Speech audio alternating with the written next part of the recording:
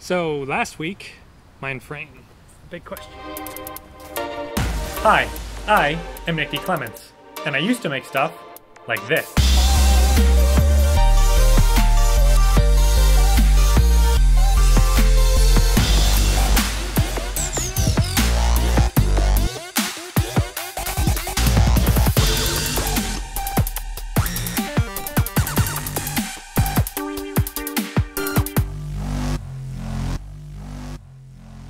So last week, I had this thing. It's just a uh, closet organizer. It's made of cloth, bunch of cubbies. You can put lightweight stuff like shirts or blankets or whatever else in there. And I just hung it on my PVC clothing rack. And my plan is to take it with us camping to hold clothes or other things like maybe buns or soft foods that uh, would work perfectly in this. Now these aren't terribly expensive. I've seen a few that seemed a bit overpriced, but for the most part they're around 20 bucks. So not that expensive, but not that cheap either. So I got the idea thinking that, you know, there might be a way to make a really cheap version of this because my local dollar store happens to have these cloth baskets that are essentially one cell of this six-celled organizer. So what if we just got six of these, six bucks, well, 624, right? 728. 634 with 6% Michigan tax. It probably wouldn't be that hard to just take six of these and attach them together in exactly the same way. Now I've already done a proof of concept and I'd say that looks pretty promising. And all I did to attach it was just spray the two sides with some 3M90.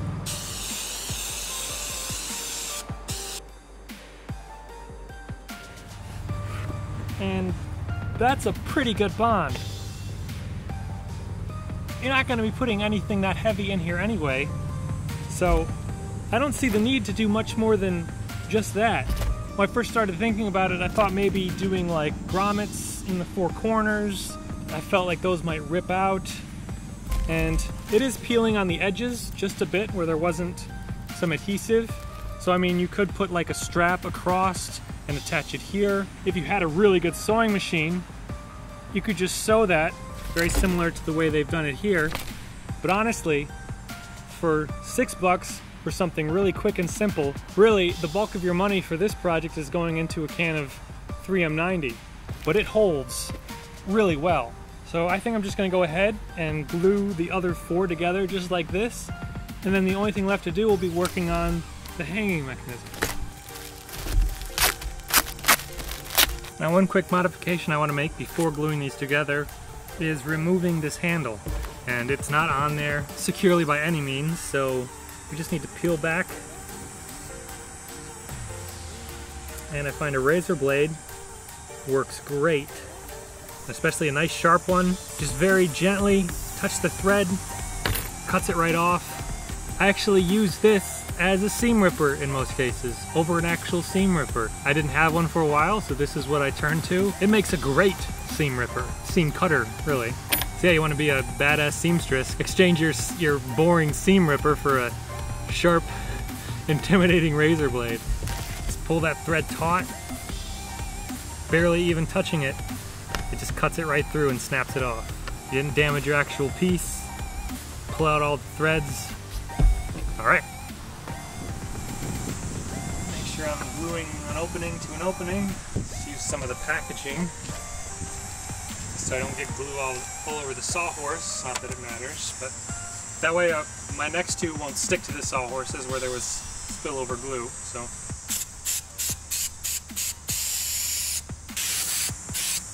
Now very much like contact adhesive, you want to let this sit and then almost dry. And once it gets pretty tacky, you just slap the two together then you have a really strong permanent bond.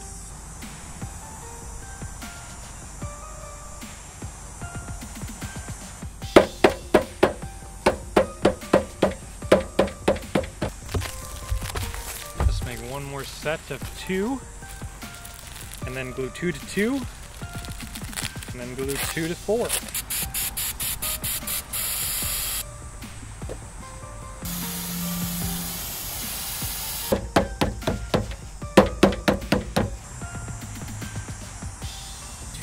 To two.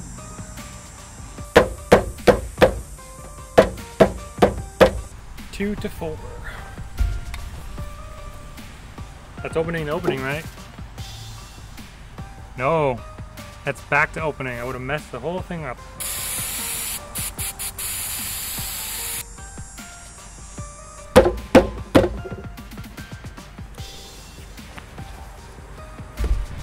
All right. Check that out. I think that is really cool. So yeah, again, I mean, if you don't think that that bond's gonna be strong enough, you could even just take the uh, strips of handle that you cut off and attach those, either sew them on, glue them on across there, and that would look pretty good. It would match the same kind of type of material on the inside. You could try doing grommets or something in there, but again, you're not gonna be putting that much weight. This whole surface has been glued, and this stuff has a lot of holding power. Now again, this stuff, 3M90, this is where most of your money went if you had to buy a new bottle. So yeah, the $6, $6.34 with Michigan 6% tax goes up to about, well, for the whole bottle it's about 12, but I only used maybe a third, so there's still quite a bit left in here. So, third of 12, why am I doing so much math? Four, oh, it's four. Wait, a third of 12 is four. So, 10 bucks. So basically, you've saved half the amount of money plus your time. So if you're doing it just to strictly save money, as with most DIY projects, unless it's a product that you can't actually buy, there's usually not a huge financial advantage to do it. But there is the advantage of making something yourself, being able to customize it with as few or as many cubbies as you like. There's different colors, not a whole lot. They have this tan, black, which they were out of, and a gray, which they were out of. And they have different sizes, so if you didn't want the cubby square, they have like half sizes ones, half sizes ones, half sized ones. I think that sounds better. That you could use. So there's a whole bunch more customization you can do by making it yourself.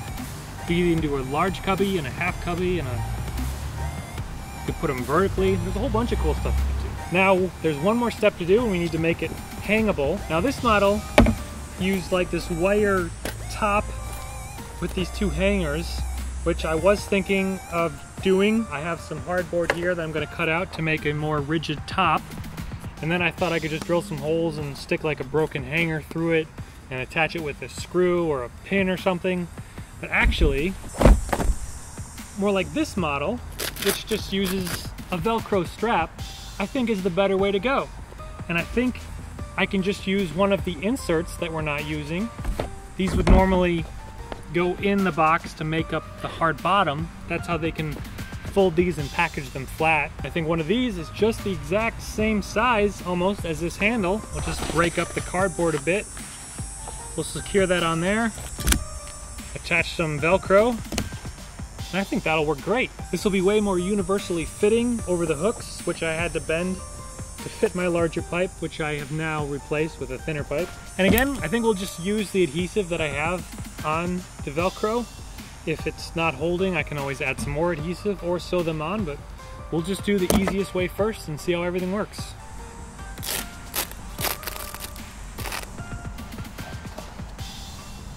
I'm just kind of rolling it up, making that uh, cardboard bit softer.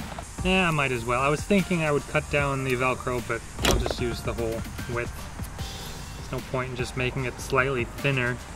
Same thing, we'll do the outside.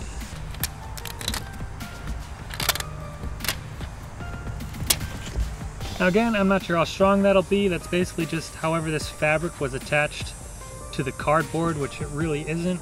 And there's not much here, but I think with how much we're using, I think it'll be okay. Otherwise, it really would not be that hard just to run this through the sewing machine. Maybe it would just be worth it to, to sew that stitch that real quick. It wouldn't be that hard. It makes sense because it'd be, it'd be a bit harder once it's attached. So this side I'm not as worried about because it's actually on the cardboard, but we'll just stitch both sides, just run a stitch. I want to be so lazy and just leave it though. I think it'll be fine. I'll go. Part of my issue with my laziness, quote unquote, just that some of this stuff is not, most of this stuff is not easily accessible. If I could just walk up here and use it because everything was clean and organized, that'd be a different story. One day, at least it has black thread in it.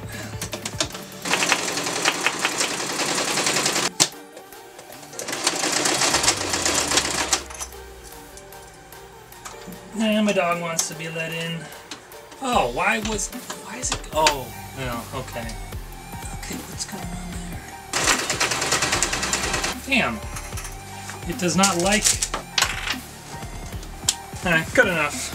Alright, so my sewing machine was not having it, but I at least got a stitch through the one part where I was kind of concerned. Figured I'd try and not be lazy, and then my equipment doesn't work. That's just the ongoing struggle. Once you're finally motivated to do the thing, then you find out you can't do the thing because the stuff you need to do the thing with isn't working right. So keep saying and do it anyway. So we don't need this handle anymore. Alright, so I want to glue this in here as well, but I don't need it to be a super strong adhesion. So I'm just only going to put uh, spray adhesive on the one side. Just a little bit just to keep it from moving and just staying in place and separating.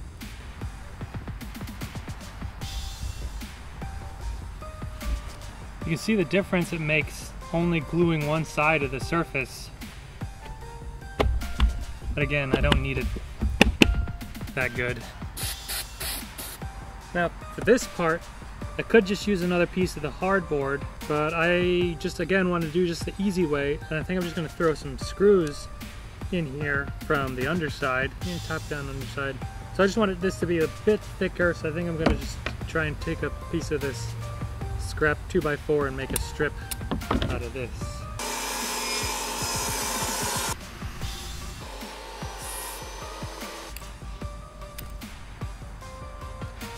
I thought about just adding like a strip of adhesive here and here just to help hold it a bit better, but again, there's nothing really holding this to the cardboard, so that's kind of just, it's not going to do much. So, oh, and again, don't put it on the wrong way. Although, a bit of glue would make everything easier to uh, just handle, so it might make sense just for that reason.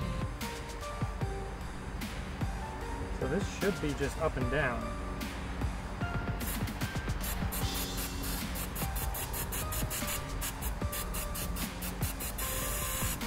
That's a pretty precision tip. That's not too bad.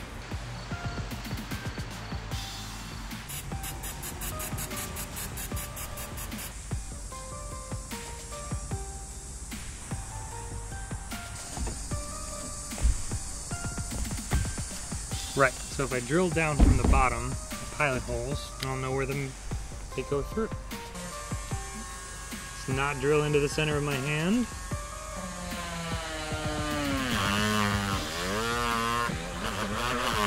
Did you catch it? Did you catch what I did? That's my bottom. So I can either move that or I can cut another piece of hardboard. I think I'm just gonna cut another piece of hardboard and just leave, well, because that's stuck in there now. Let's cut another piece of hardboard.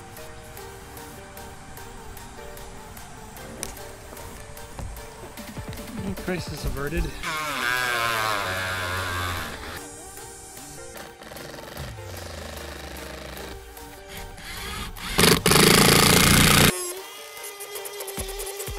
Another option, if you don't have any kind of grinding apparatus, if it's a small protrusion like that, that'll work just fine as well.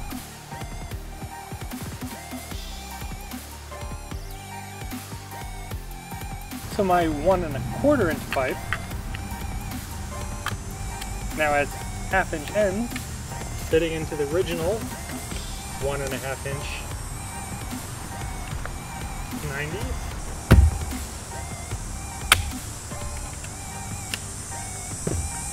I'd say still just as strong. Now the smaller hangers fit way better. Should be small enough to go. But that's last week's video. Let's see how this works.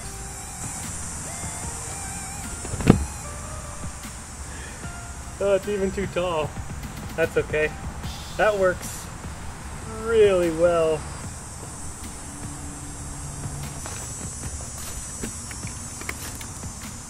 Perfect excuse to just show quickly how we can just extend it, the height, just a little bit more after the fact.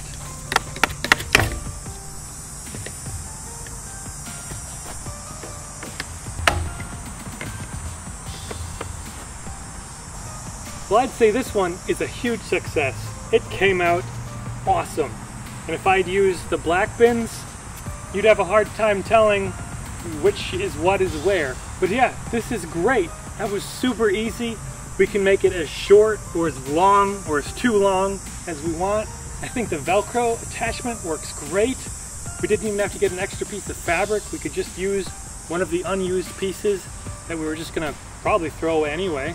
And speaking of those, just to add a little bit more rigidity to the shelves, it's only one thin piece of cardboard, but add all three together. And of course, if you wanted a really rigid shelf, we could cut out more hardboard and put that on each one. Hey, D-Sauce, Future Nick here. So, I actually did go ahead and cut hardboard for all the shelves. I also went ahead and just glued them in and made it permanent, and you can see it really makes the whole thing that much more rigid and level. They don't bend like they do when it's just the plastic or cardboard.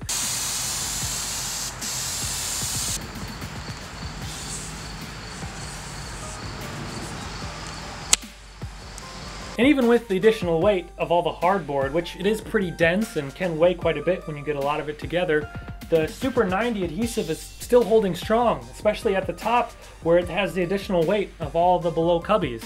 So this is really a great addition to our DIY closet organizer, as well as to the ones that you might purchase already. Just cutting in some hardboard and adding that on top of the shelf really adds all that rigidity and makes these shelves just a lot nicer to use and you don't have to worry about them bowing or just stuff coming and falling out. So I went ahead and cut sheets for all these as well, but I haven't pulled the plug and decided to glue those in yet or not. But, but even not glued, it's still a great upgrade. Now when I was at the dollar store getting the cubbies, I did look around for a dollar store solution to the hardboard. Not that it was my goal to make this a dollar store only project, but if they had something that was cheap and easy to work with, that would have been a great option. But the dollar store really doesn't have very many big rigid items.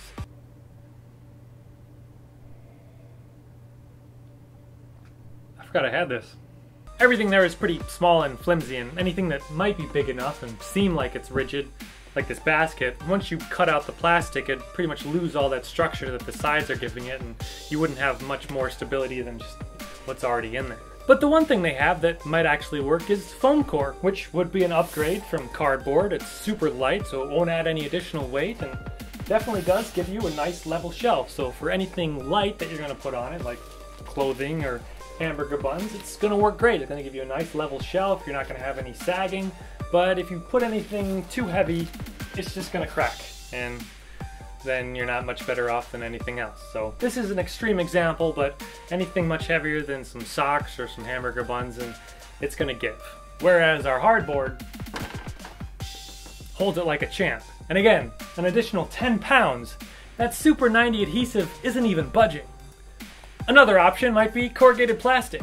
Again, it's really lightweight, easy to work with, and pretty inexpensive.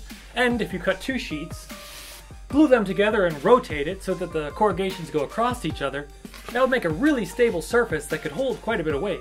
I, of course, went with the hardboard. It's pretty cheap, really strong, super easy to cut with power tools, though you can cut it with a hand tool or even score it on both sides with a utility knife and break it for a moderately decent cut. But wait, there's even more! So remember like 10 minutes ago when I made this thing and it was a little bit longer than I was expecting? Well, I came up with a way to make it adjustable. To start, I drilled a hole through the bottom four shelves. Now you could do it through all of them, but I figured the bottom four would be good enough for any adjustments I might want to make.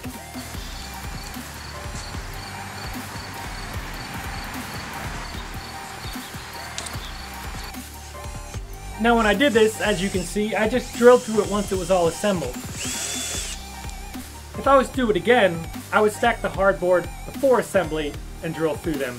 That way there'd be a lot less chip out and it would just be a lot cleaner. But this worked, and now all I have to do, borrow some hardware from the DIY GorillaPod video, just take a bolt and a washer, putting it through the hole,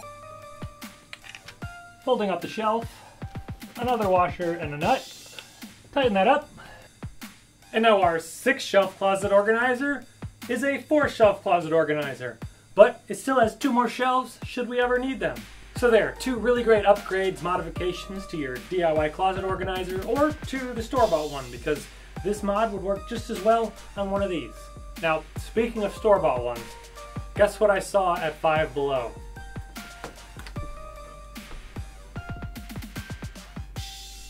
Yup, a six shelf closet organizer for five bucks.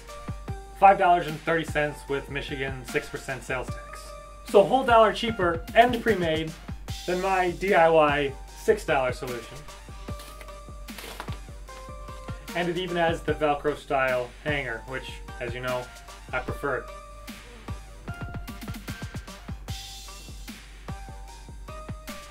Alright, well, one thing I can be happy about their solution, there's not even cardboard in there. That's just fabric. So minus one for that. The cubbies, definitely smaller than any of these. So minus two for that. Otherwise, not bad. And of course, you can give it the hardboard treatment and that'll improve it tenfold. So like I said, or will say, but already said, DIY isn't always about just saving money. It's about making something yourself and getting to control what you get and what you make, from size and shape to color and function. For instance, a plus that I think our DIY version has over some of the store-bought ones is that since we use these baskets, they have rigid edges. So that means when you fold it up, you get a really nice accordion and stacking effect. And it's actually really clean. Whereas these, they just have fabric so it just kind of mushes together and you really have to kind of take your time to squeeze them in. I think that says a lot. This kind of turned into two videos in one, but with that, I'll return you to your previous outro, already in progress. Seriously, I am really excited about this one. I think this is an awesome DIY project. And I think it's really easy I'm super excited with how strong the, the 3M90 is. That's all it really needs. I don't see any reason to do any more work to make those joints any more secure than they already are. Everything is holding great. I mean, these are just cardboard as well. It's all just cardboard and fabric. And with this, we have the potential of taking cheap cardboard and fabric dollar store and just adding a few extra materials and making it really hardcore.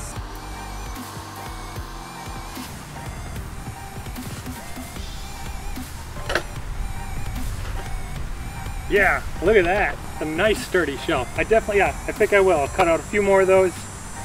Have nice strong shelves for no reason other than just can. I'm sure you can tell I'm excited about this one. I hope you're just as excited. And my sincere thank you for watching. Once again, I am Nick D. Clements. If you're wondering, Nick is short for Nicholas, and the D stands for Duncan. Anyway, I'm off to make something else.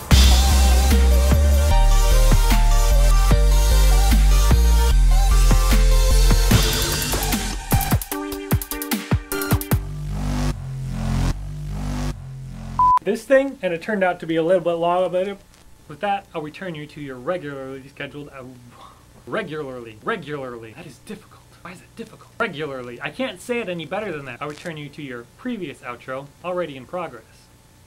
See? Different way. Reg regularly.